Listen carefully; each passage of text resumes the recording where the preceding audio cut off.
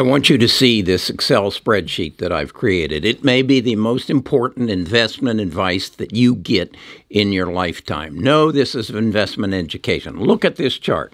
I created it's an Excel spreadsheet. I created an Excel spreadsheet that says shows if you started investing in a Roth IRA at age 22, 28, 38, or 55, and you got the following return 7%, which is what the Dow gives, 13%, which is what the S&P gives, and 20%, which is what the Nasdaq 100 gives. If you invest it like that at these ages, if you're 22 at 7%, you're going to have 2 million $129,000. And if it's in a Roth IRA, it's going to be tax free.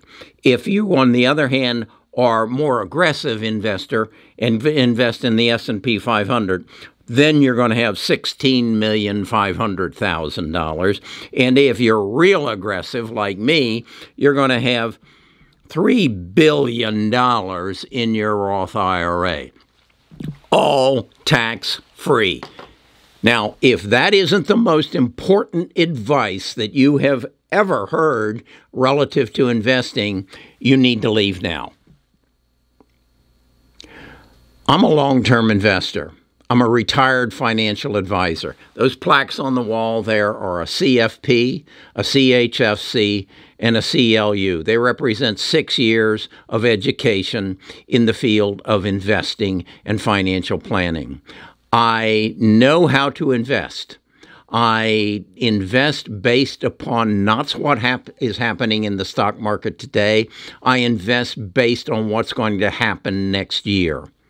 The reality is that inflation, interest rates, and the, uh, unemployment have little or nothing to do with your future because they are temporary events and they will pass.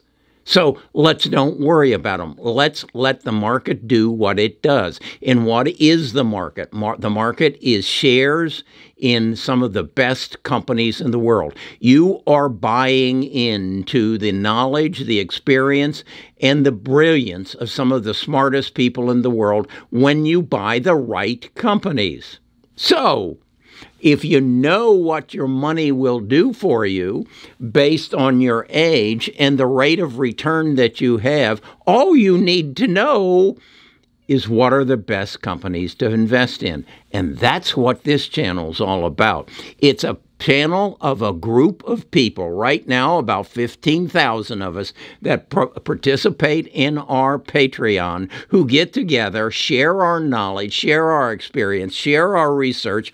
We even buy some research to bring in to supplement our ideas. And we're going after this. So, if this is something you want to go after, if you want to participate in the biggest change in the history of this world, we are going to have more change in the next five to 10 years than we have in the preceding 100 years. Stick with me, and I'll tell you how to become a multimillionaire. Best of Us Investors presents Kerry Grinkmeyer.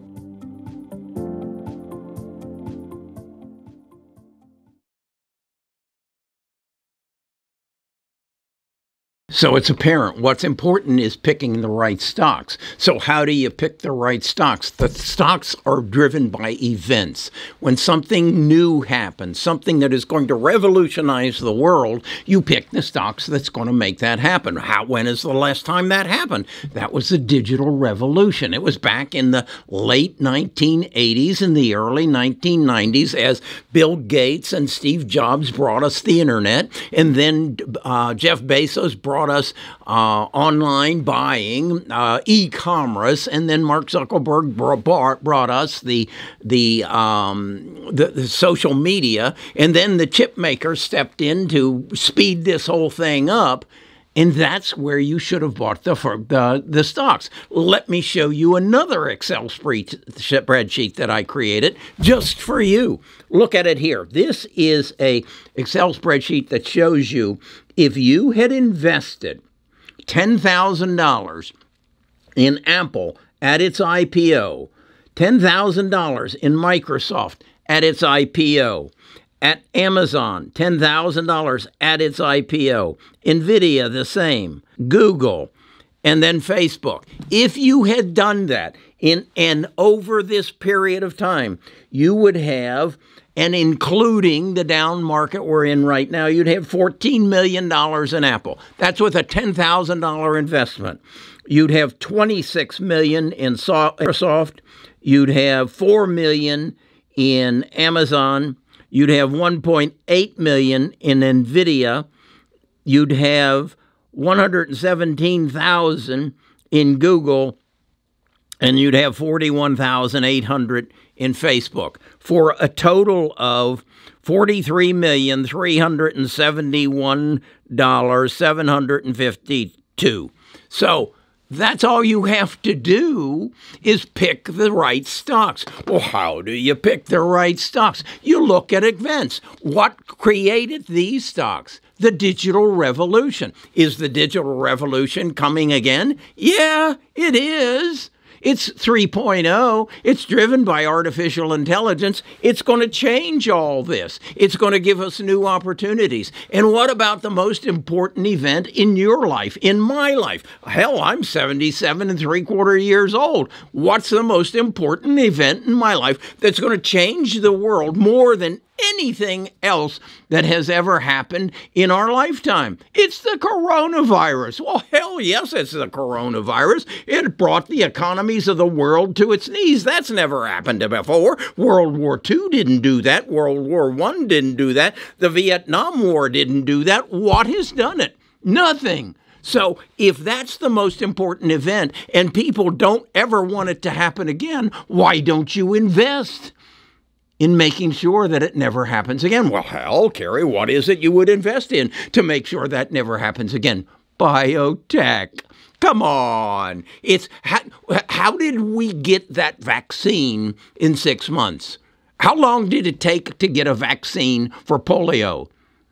12 years. 6 months. What's changed? We've got computers. We didn't have them then. We have artificial intelligence. We didn't have it then.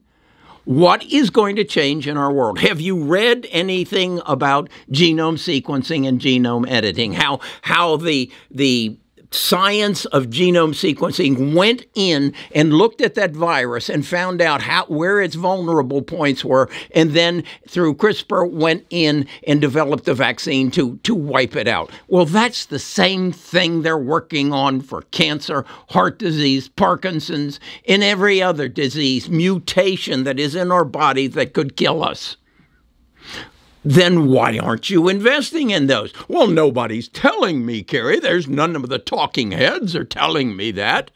Well, I'm telling you that, and I'm, I think I'm a talking head. So that's where I invest. I don't worry about interest rates. I can't do anything about interest rates. I can't do anything about being raped by ExxonMobil and, and BP and gas prices just because they lost money back when I wasn't driving. Well, why would they do that? How do they get away with that? It's money. Follow the money. Well, the money is going to go towards saving your life, and that is from the next pandemic or cancer, heart disease, Parkinson's, Alzheimer's. So that's the Apple, the Microsoft, the Google, the Amazon, the Nvidia, the Facebook of 1998. So why don't I invest in that? Well, as a matter of fact, I have. In fact, I've been invested in it for the last two years. Is it two years or 18 months? But nonetheless, and I've lost money on it. The same as if you look at this chart that I'm showing you, that you would have lost money in every one of these stocks in 2020 and, and then again in 2028 you would have lost money because the market was reacting to temporary events. The overfunding and the overexuberance of the dot com bubble, the stupidity of the banks in giving interest rates down, or not interest rate, but making loans available to people that we created a subprime crisis, which is also known as the real estate crisis. They create these temporary situations, not the companies who are creating the change in the world that makes your life better. Did Google make your life better? Did Apple make your life better? Did uh, Microsoft make your life better? Hell yes, it did. So all you got to do is look for the next company, the next wave that's going to make your life better. And it's obvious. It's obvious. So what do I do about it? I buy into biotech. I ask my community, my tribe, my 15,000 people, you do some research for me. I'll do some research for you. We'll buy research from other people and we'll find the biotech companies that are going to change the way we live. Then we said, wait, there's also a change in the fact that there's a, uh, our supply chain is broken. How's that going to change the world, Kerry? We're going to stop buying stuff from China. That's how it's going to stop. And how are we going to do that, Kerry? We're going to invent, go into 3D printing and robotics and pray, replace high cost labor. And then we're going to go down to Colombia and Mexico and replace China with people who are in our continent and people who we can trust who aren't trying to steal our technology. That's where I want to invest. Do I believe that's happening? Oh, I certainly do. We because of globalization, because of China becoming the second power of the world, because of them shipping all the stuff to us, we have a big problem we first of all they control the semiconductors they can hell they even make all the apple phones they even make my running shoes that's got to change that can you 3D print a a running shoe? Hell yes, you can. And you don't even need to put it in in in Nike's warehouse. Just put it in Amazon's warehouse, and they'll ship them directly to me. They'll print them on demand, much as they print my book on demand. So it's all there. All you've got to do is connect the dots. And if you're not good at connecting the dots, Maybe you need to subscribe to my YouTube channel, and I'll take you to new and exciting places. See you again tomorrow.